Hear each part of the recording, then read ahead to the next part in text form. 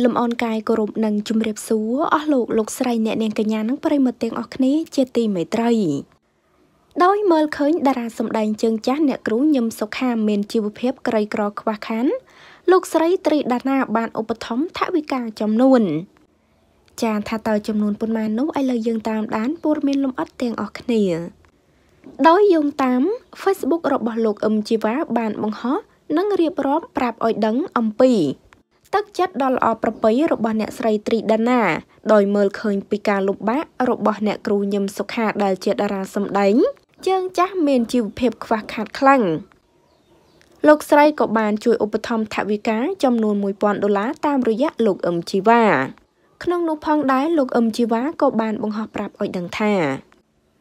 ជួយ share បងប្អូន លោកស្រីត្រីដាណាជួយឧបត្ថម្ភដល់តារាជើងចាស់នៅថវិកាចំនួន1000ដុល្លារនៅយប់នេះខ្ញុំបាទអឹមជីវ៉ាបាននាំយកថវិការបស់លោកស្រីត្រីដាណាចំនួន1000ដុល្លារមកឧបត្ថម្ភដល់តារាសម្ដែងជើងចាស់អ្នកគ្រូញឹមសុខាដែលមានជីវភាពក្រីក្រខ្វះខាតដើម្បីដោះស្រាយជីវភាពក្នុងពេលទទួលថវិកាអ្នកគ្រូញឹមសុខា បានមានប្រសាសន៍ទាំងអារម្មណ៍រំភើបទឹកភ្នែករលីងរលោងថា ការជួយរបស់អ្នកស្រីត្រីដាណាធ្វើឲ្យអ្នកគ្រូរកពេលអ្វីមកថ្លែងពុំបានបើទោះបីជាលោកស្រីត្រីដាណាមិនបាន មកមែនតែលោកស្រីបានផ្ដាំផ្ញើសួរសុខទុក្ខតាមរយៈលោកអឹមជីវ៉ាដល់អ្នកគ្រូ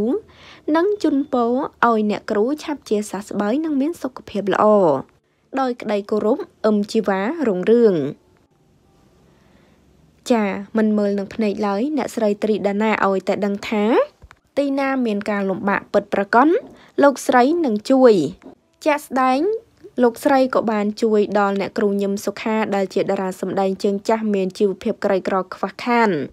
ក្រៅពីការសម្ដែង បានថវិកាបន្តិចបន្តួចនោះ អ្នកគ្រូក៏ដើរលាងចានតាមផ្ទះឲ្យគេដើម្បីបានប្រាក់សម្រាប់ផ្គត់ផ្គង់ជីវភាពប្រចាំថ្ងៃនិងទិញថ្នាំពេទ្យសម្រាប់ព្យាបាលជំងឺប្រចាំកាយរបស់ខ្លួនថែមទៀត ពិតជាគួរឲ្យអាណិតគាត់ខ្លាំងណាស់ចាហើយតេតងនឹងព័ត៌មាននេះដែរក៏សូមបញ្ចប់តែត្រឹមនេះ